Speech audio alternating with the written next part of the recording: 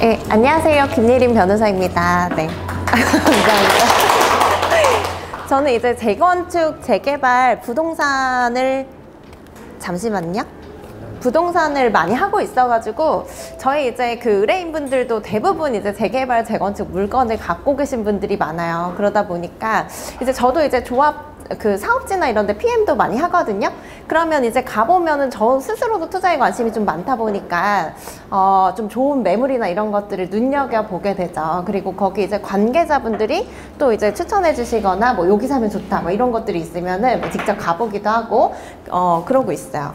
그 이번에 이제 1, 1, 월 10일에 이제 부동산 대책이 나왔는데 요거 관련해서 이제 송 대표님이 대부분은 이제 설명을 하신 것 같아요. 그래서 저는 이제 재개발, 재건축 위주로 한번 설명을 드려보도록 하겠습니다.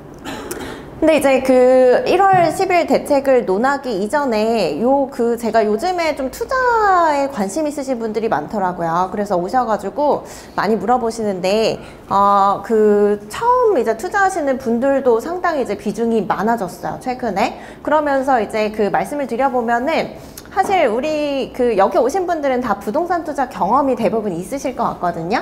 그러다 보니까 이게 너무 쉬운 개념이어서 다 잘 알고 계신데 처음 투자하시는 분들은 이 개념을 잘 모르다 보니까 어 좀 그 잘 모르시는 경향이 있다라고 해서 어 한번 간단하게 짚고 넘어가려고 제가 준비를 했어요. 그 갭 투자는 다 잘 아시죠? 네, 근데 이제 갭 투자도 모르는 경우가 굉장히 많더라 해가지고 제가 간단히 이제 설명을 드리려고 가지고 왔는데 아, 이제 우리가 뭐 예를 들어서 주택을 사면은 뭐 4억짜리 집이 있을 거예요. 근데 이제 그 내가 직접 실거주를 할 수도 있고 이거를 이제 임차인을 맞춰서 전세 보, 전세를 주시는 것도 가능하겠죠. 네, 그렇게 되면은 뭐 전세 보증금을 2억으로 맞춰서 내가 세입자를 구했다라고 하면은 내 돈이 2억밖에 안 되는 거잖아요. 네, 그런 형태로 이제 투자를 하는 게 갭 투자라고 보시면 돼요. 그래서 그 갭만큼 활용해서 이제 투자를 하신다라고 하면 장점은 어쨌든 투자금이 적게 든다라는 점이 있겠죠. 그래서 그렇게 보시면 되고 네, 다만 이제 갭 투자 하실 때는 가장 걱정하시는 거는 최근에 이제 역전세 같은 것들 겪어보신 분들 많을 거예요. 그러면 이제 목돈을 한 번에 돌려주셔야 되니까 굉장히 마음고생 많이 하시고 그런 분들 많이 봤거든요. 그래서 전세 수요가 탄탄하게 뒷받침되는 곳 그러면서도 처음에 들어가실 때 너무 전세가율이 높게 들어가면은 이제 초기 투자금은 적게 들 수 있지만 나중에 또 부담이 되실 수 있다. 이런 것들을 좀 확인하고 가셔야겠죠. 그리고 이제 재개발, 재건축이라는 거는 기본적으로 이게 개발을 통해서 내가 새 아파트 입주권을 취득하는 걸 목적으로 한다라고 보시면 돼요. 그래서 뭐 빌라 투자하지 말라 뭐 이렇게 말씀하시는데 재개발 투자는 좀 달라요. 네, 그래서 재개발과 재건축의 차이점은 뭐냐면은 재개발은 그 도로나 공원 학교 같은 게 잘 갖춰지지 않은 곳에서 이루어지는 거라서 대부분 이제 단독이나 뭐 빌라 밀집 지역에서 이루어진다라고 보시면 돼요. 그래서 뭐 이런 지역들 이제 그 재개발 지역에 뭐 로드뷰 같은 거 띄워보면은 로드 뷰를 이제 그 찍을 수 없을 정도로 도로 같은 것들이 굉장히 좁게 형성이 돼 있고 이런 예, 지역, 낙후된 지역들이 대부분이다라고 보시면 되고요.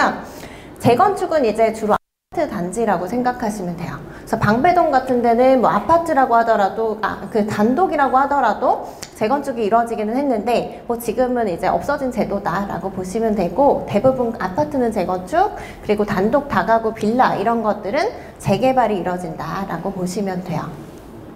그래서 이제 향후에 어, 이 재개발이나 재건축 구역에 어떤 주택을 매수를 하신다라고 하면은 나중에 이게 그 재개발 재건축 사업으로 새 아파트가 지어지잖아요. 그럼 거기서 이제 새 아파트 입주를 좀 싼 값에 하실 수 있는 권리를 받게 된다라고 보시면 되고 이런 거를 조합원 입주권이라고 부르는 거죠.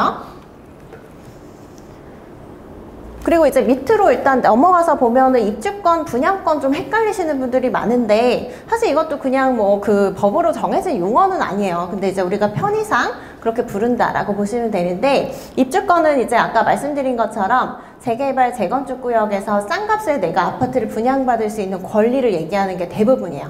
그래서 재개발, 재건축 조합원 입주권을 얘기하는 거고 그리고 이제 분양권은 청약하시면은 당첨되잖아요. 그럼 아파트 분양받을 권리가 생기죠. 일반 분양이거든요. 그래서 요렇게 그 청약에 당첨돼서 뭐 일반 분양 받을 권리가 생긴 경우 요런 거를 이제 그 분양권이라고 부르고요. 이 조합원 입주권이나 뭐 분양권은 사실 시세보다 싼 값에 분양을 받을 수가 있거든요. 그러다 보니까 사실 이제 어느 정도 시세 차익을 누릴 수밖에 없는 거죠. 그래서 그 시세와의 차이만큼 또 이제 프리미엄이 붙어서 시장에서는 거래가 된다라고 보실 수가 있을 것 같아요. 그리고 이제 오피스텔 근린 생활 시설 보시면은 근린은 이제 상가를 얘기하는 거죠. 그래서 이런 것들 사면은 뭐 재개발 입주권 받을 수 있냐 많이 물어보시는데 원칙적으로는 주택 입주권 받기가 어렵다라는 점을 인지를 하시고 좀 어려운 투자로 생각을 하셔야 돼요. 웬만하면 안 하시는 게 좋겠죠. 어, 그리고 이제 재개발 재건축 수익 관련해서 계산하는 방법을 제가 조금 설명을 드리면은 이제 그 주변에 보시면은 어, 내가 이제 재개발 물건을 살려고 갔는데 이제 한 뭐 3억이면은 어, 32평 아파트를 입주할 수 있는 물건을 살 수 있다더라. 네, 그렇게 말씀을 하시면서 예, 주변 시세는 10억이 가는데 내가 너무 싸게 사는 거 아니냐라고 물어보시거든요. 근데 그렇게 계산하시면 안 된다는 거죠. 아, 보시면은 어, 이제 그 이 그 총 투자금을 보시려면은 내가 매도인한테 주는 금액이 있고 또 조합에 내시는 돈이 있거든요. 그래서 요거를 이제 합산을 하셔야 총 투자금이 된다라는 거예요. 그래서 매도인한테 주시는 거는 이 매도인이 그 구역에 가지고 있는 주택의 객관적인 가치가 있어요. 이거를 권리가액이라고 부르는데 대충 그냥 감정 평가 금액으로 보시면 돼요. 네, 감정 평가 금액으로 보시면 되는데 아, 여기다가 이제 아까 말씀드린 것처럼 내가 조합원 입주권을 취득을 하게 되면은 이게 그 조합에서 새 아파트를 지었을 때 싼 값에 분양을 받을 수 있는 권리가 생기잖아요. 그러다 보니까 이게 시세보다 싸게 분양을 받으니까 그 차익만큼 프리미엄이 붙어서 거래가 된다라고 보시면 돼요. 그래서 그냥 그 감정평가액대로 거래가 되는 게 아니죠. 그래서 이제 매도인한테 주셔야 되는 금액은 이 권리가액이라고 해서 조합에다가 인정을 받을 수 있는 권리만큼의 금액과 그리고 시세 차익을 내가 누릴 걸 예상하고 프리미엄을 얹어준 거.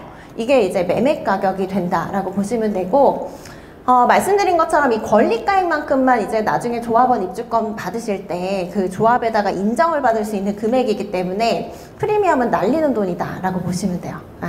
그렇게 해서 일단 여기 매매 가격 매도인한테 처음에 2억 권리가액에다가 프리미엄을 얹어서 예를 들어 프리미엄이 3억이다 라고 하면 5억을 주는 거죠. 그래서 매매 가격은 5억이 되는 거예요. 그렇게 되면은 그리고 이제 나중에 입주하실 때 이 조합원 입주권은 어쨌든 분양을 싸게 받을 수 있는 권리니까 조합원 분양가라는 게 정해져 있거든요. 그래서 예를 들어 내가 8사형을 분양을 받을 거다. 근데 이 8사형을 어, 조합원 분양가가 책정된 걸 보니까 5억이다 라고 하면은 아, 5억의 분양을 받으시는 거예요. 그럼 내가 지금 산 주택의 권리가액은 2억이잖아요. 그래서 2억만큼을 어, 인정을 받는 거죠. 그럼 나머지 차액인 3억은 이제 조합의 추가 분담금으로 내셔야 된다. 현금으로 내셔야 된다라고 보면 돼요.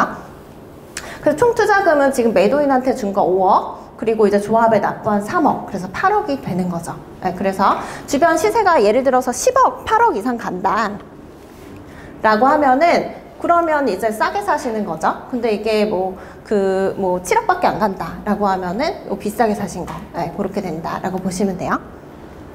이게 언제쯤 정해져요? 분담이 사실 이제 그 조합 설립 동의 받을 때부터 지금은 이제 그 법이 바뀌어가지고 정비 계획 수립할 때부터 이런 것들 대략적으로 알 수는 있는데 그때 정확하게 정해지지 않아요. 정확하게 아시려면은 관리자분 계획 수립 때야 대략 알 수 있고 그 이후에도 계속 변경이 되기 때문에 사실 정확하게 알긴 어렵고 네. 근데 대략적으로 이제 예상은 하고 들어가실 수가 있죠.